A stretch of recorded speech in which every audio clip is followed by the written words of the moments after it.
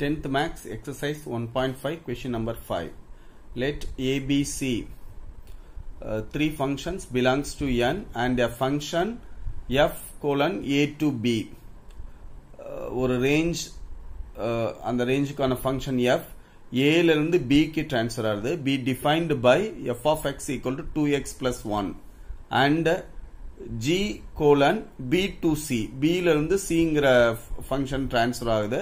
So அதுக்கான range வந்து defined by G of X equal to X square find the range of F composition G and G composition F அப்படின்னு கேட்டிருக்காங்க. F composition G equal to F of G of X G of X வந்து X ஸ்கொயர்னு கொடுத்துருக்காங்க. F of X அதுக்கான equation வந்து two X plus one இப்போ இந்த அதில் வந்து அந்த டூ எக்ஸ் பிளஸ் ஒன்ல இருக்கக்கூடிய எக்ஸுக்கு எக்ஸ் ஸ்கொயர்னு சப்ஸ்டியூட் பண்ணோம். அப்போ two into X square plus ஒன்னு கிடைக்கும். அப்போ F composition G equal to two X square plus one அப்படின்னு கிடைக்கும்.